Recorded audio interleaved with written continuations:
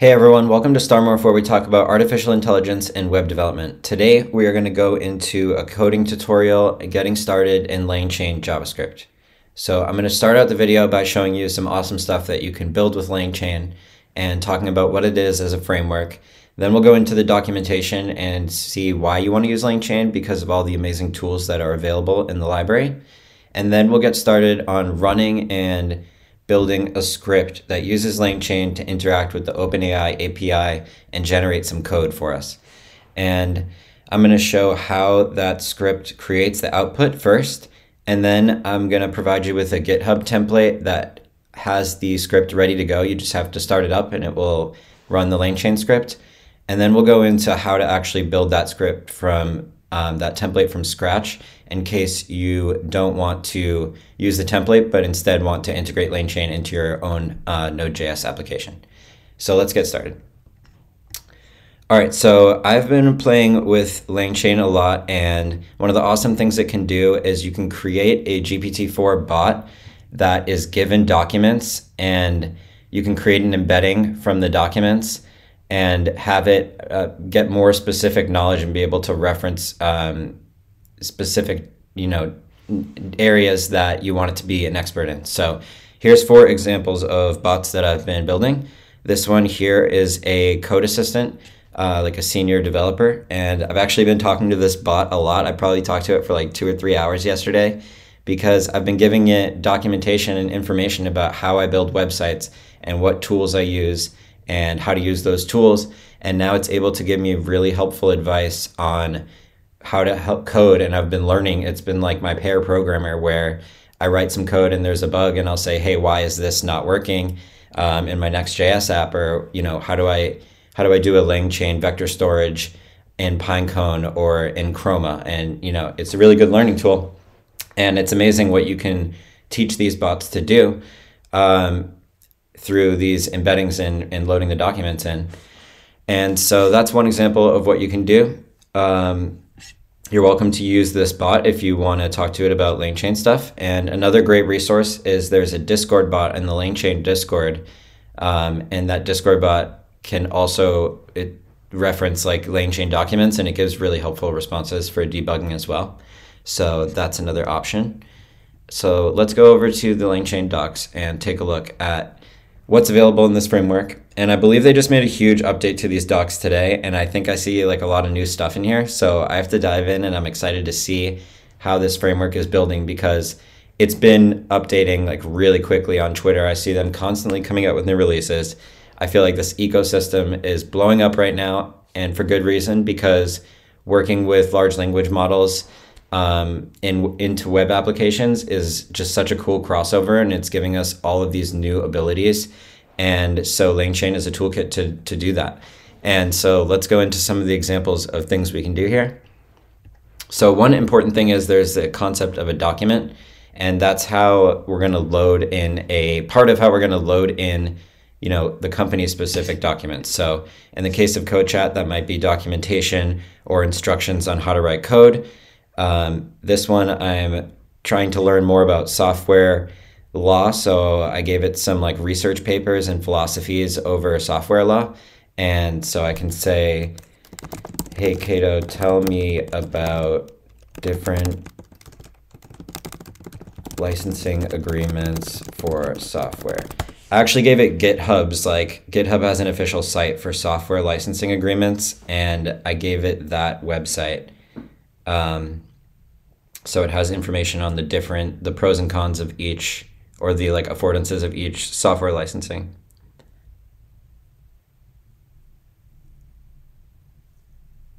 So I, I want to I need to format this a little bit better, but you can see here that it's starting to give out some licensing examples and talking in detail more about them. So point being that you can give it information and then have it learn more about that information by loading in the documents.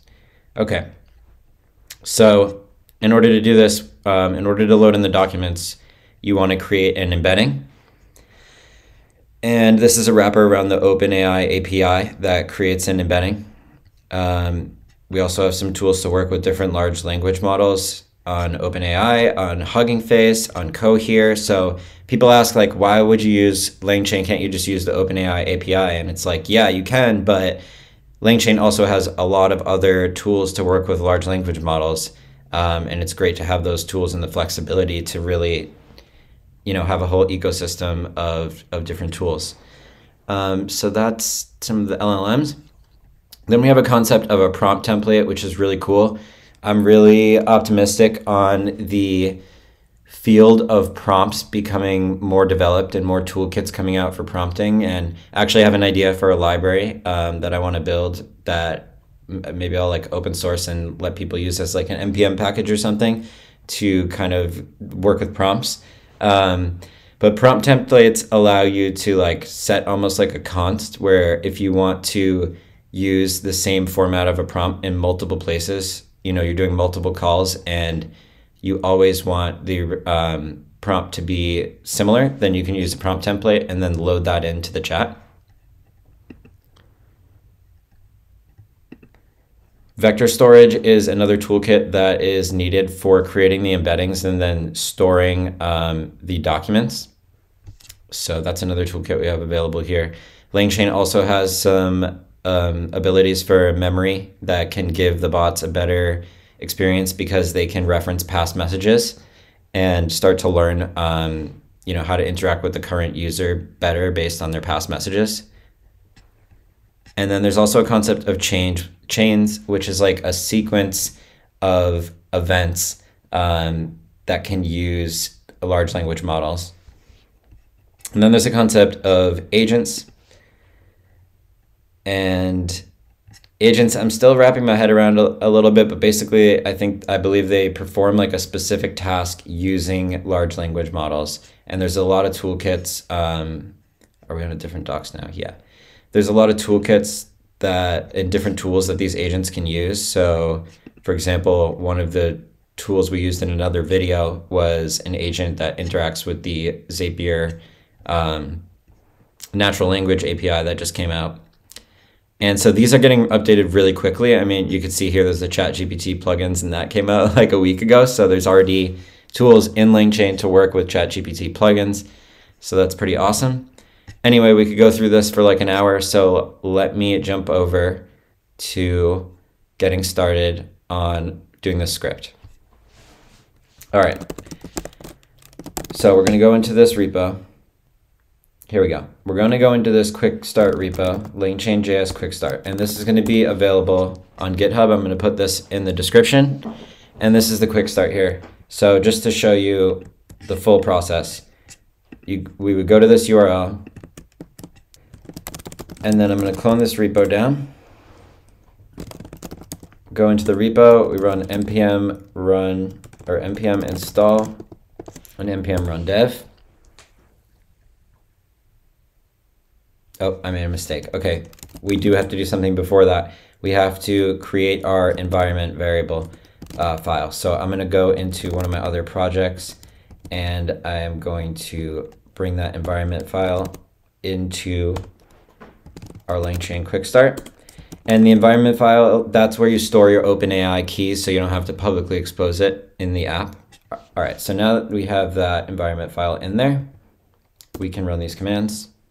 Okay, now it's going to run this LangChain script that we have. Okay, so we just ran that script, and as you can see, it says file saved successfully, and we got this response, import React from React. So this right here is a basic React component that returns an H1 tag.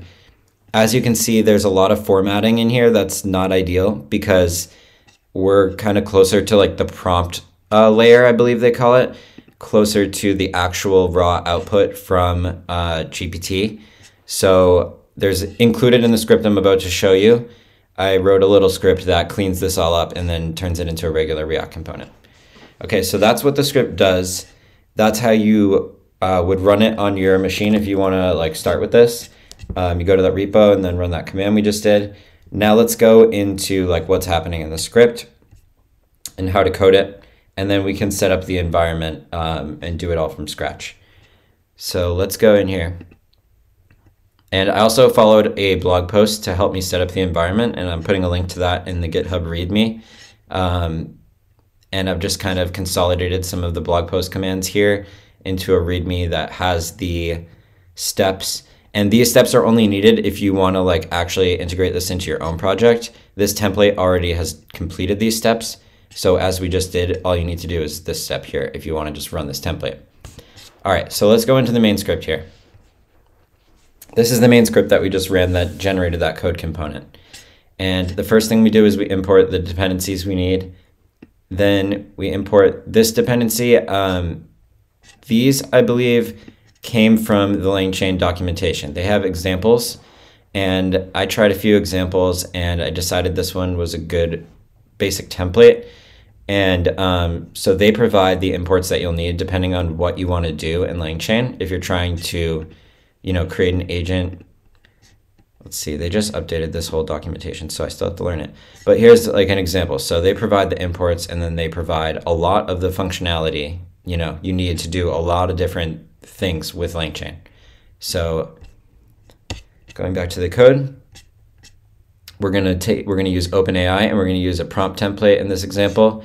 And then we're also gonna use a structured output parser, and that allows us to structure how the output is gonna come back and I wanted to create a code snippet. So I wanted it to be a specific format. And the parsing helps with removing a lot of the stuff um, that you don't want in the response. Okay, so we import our dependencies. And then next we, I imported my, I chose to use this. This is a library.env that um, allows you to load in your environment variables from another file. So that's what I'm using to feed this my OpenAI key. Okay, and then this is kind of badly formatted. This should be, uh, you know, up here, but um, chat OpenAI is another thing that we're bringing in from LangChain and also from the LangChain schema library, we're bringing in human chat message and not using system chat message. Okay, so now we have an async function and we have a prompt here, give me a Next.js component that renders an h1 tag with the text StarMorph. So that's what the output we got uh, was. Now here I made a script that takes the response from this OpenAI call and saves it to a file named response.txt. Okay, because I wanted to just save, you know. Okay, so this is a script here to remove some escape characters. I was playing around with like how to get a cleaner format back from um, removing, yeah, all the stuff we don't need in the response. And let's see, this function here. Okay, so this is actually after we save the file, this is another function that runs and it cleans up the file. So it calls this remove escape characters and that's what takes this kind of not ideal output format and, you know, with these characters and turns it into just the, the correct um, React component. So that's that. Then we call the process file. And then we just call this async function that goes to the OpenAI API. So as you can see, this is a really basic uh, call to the OpenAI API. We just kind of initiated a new chat. Um, you know, you could put more parameters in here. I believe like your model that you want to use and a token limit, uh, like a max token, and you know all the settings that are in the OpenAI API, or rather are in yes, I believe this is the format of the OpenAI API, um, not the link LangChain. And so yeah, it's a pretty basic call. We're just saying, you know, here's the prompt. Um, please use GPT to do this, and then we'll save the file. And then I'll just show you that in the directory here, we have this output.txt file and response.txt file. So I believe it's the output.txt file that's the clean version. So there we go. We have a little React component here. And you can imagine you could make this um, prompt a lot more descriptive and generate some pretty cool code. And that's pretty awesome. So that is why we're using LangChain. And I hope this was insightful as to like how to get started with a LangChain app. Um, I know a lot of people who are more on like the front end developer side might not be as comfortable setting up a node project um, rather than just running in the browser. And so that's why I'm providing this template to get started with node. Um, But then this is also the, yes, exactly how this template was built. So if you wanted to, you know, learn a little more about building the node environment and practice doing that, then you could go um, on the template and follow these instructions. And this is how the template was created, setting up the node project with TypeScript. Yeah, I also, again, want to mention that I got this uh, node environment from set up from this blog post here. So thank you to whoever wrote this blog post because it's really helpful. And they actually have, I think this is like a whole community but there's definitely, I've seen a few other LangChain um, articles on here. So shout out to these guys. And um, yeah, I think that's a good place to stop for this video. And I could go more into like setting up the node environment or in future videos. I know you guys are really interested in making the bots um, and training the or sorry not training but uh, creating the embeddings and giving the the documents context on the bots uh, so i wanted to start with a basic tutorial on how to create the environment and create a basic template that has langchain working and then in the next part i'll expand and we'll build something even cooler. Um, you know working on from the template uh, that we have here today. If you have any questions about you know any of this um, i try to respond to every single comment and i really you know i like i like talking to you guys. And also i just want to say like the past few weeks if i've been stuttering in this call it's because i haven't been sleeping because these past few weeks um, one of my videos went really it did really well and so many people have been reaching out to me and it's honestly been like life changing and um, i've just been having so much fun like meeting all of these new people who are interested in AI and keeping up with all of the stuff that's happened in the past week. I mean, like you guys know, like all of the tools that have come out. So thank you guys for watching and for um, you know connecting. And it's been awesome building with you guys. And um, yeah, thanks for watching. If you want to reach out to Starmorph, if you need help with doing this stuff, then please reach out to Starmorph because we are working with these frameworks and um, building websites that are utilizing LLMs in websites for clients. And uh, specifically in this bot, I have a lot of features that I'm working on integrating to create products with this and improve uh, different UX and, and different you know functionalities in here. So I'm really excited about the updates that are coming to the bots that I'm working on and um, some of the projects that I'm uh, working on in StarMorph, and also the projects that everyone else in the LangChain and um, just in the web dev community right now. It's just so awesome seeing all this amazing stuff coming out. Um, and what else? Like, there's just so much awesome stuff, research, new projects, new models. So, um, yeah, it's been really fun. And again, thank you for watching, and I will see you in the next video.